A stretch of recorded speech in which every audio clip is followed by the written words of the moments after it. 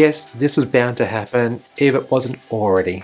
Soon there'll be a street legal, zero octane, hyper wing pocket rocket hitting our streets. Meet the Cupra Urban Rebel concept car with a spoiler so big that even Vin Diesel would gush with giddy joy. Featuring 320 kilowatts of peak power, 0 to 100 k's per hour in 3.2 seconds, Cupra plans on bringing out this small car in 2025.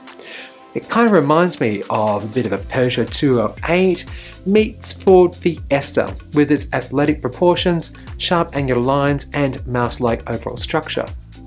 What do you think of it? I guess that car modders and hoons will be busting to get their hands on this.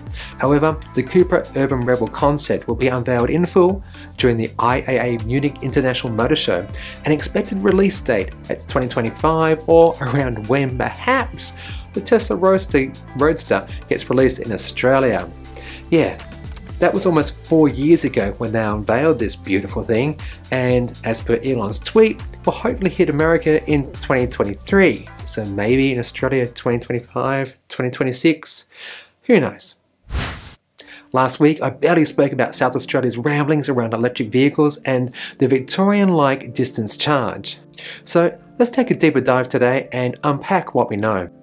The South Australian Government's proposed electric vehicle strategy emulates perhaps the best aspects of New South Wales and Victorian incentives with a $3,000 rebate for the first 6,000 vehicles. Gosh, that wouldn't last very long in New South Wales or Victoria, but 3k is 3k, right? Importantly, they're going to delay the Victorian light distance tax until July 2027 or until EVs reach 30% of new motor vehicle sales in South Australia, whichever is first. Don't get me started on how wrong that aspect of this tax is. Needless to say, it's very much at the forefront of my mind as I drive my EV everywhere and knowing that I pay for roads with my taxes and do so without emitting any fumes, noise, actually improve the world in which we live in. Mm, just go go check out the video up here. It, yeah, I, I, I, need to stop saying about that, but mm, I'm thinking about it. From the South Australian Government's own paper on the matter, they detailed in December last year that they've committed to spend more than $36 million to encourage people into EVs through increased rapid charges, uh, shifting government sectors to electric forms of transport, uh, encouraging doing some programs around getting fleet buyers on board, and a few more things.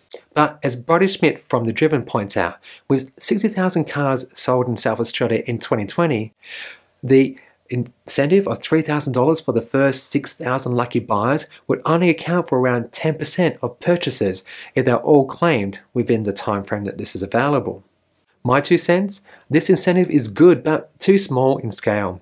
Just 6,000 one-off purchases incentive represents just 0.4% of the 1.48 million vehicles registered in South Australia.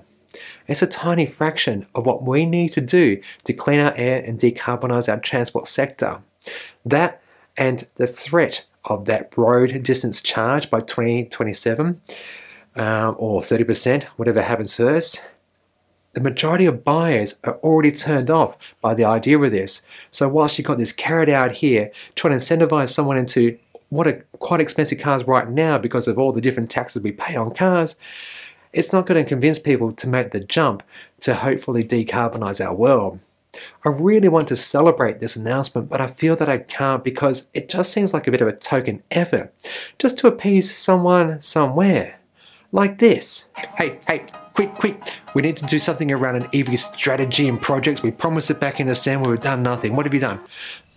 Let's just copy New South Wales. How many? No, no, just, just 6,000. That will do. And finally, check out Hyundai Motional's next generation robotaxi. Based on the all-electric Hyundai Ioniq 5, this car can safely operate without a driver, meaning that it's working at level 4 autonomy. On the exterior, the souped-up Ioniq 5 has more than 30 sensors such as cameras, radar and LiDAR, all working together to provide a 360 degree view for short and ultra long range.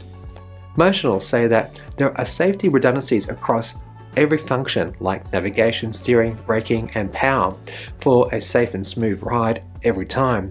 And if need be, they'll be able to actually remotely pilot the Ioniq 5 should they encounter an unusual road situation. I find it really interesting how car makers like Hyundai are teaming up with companies like Motional compared to say Tesla who are doing everything in-house.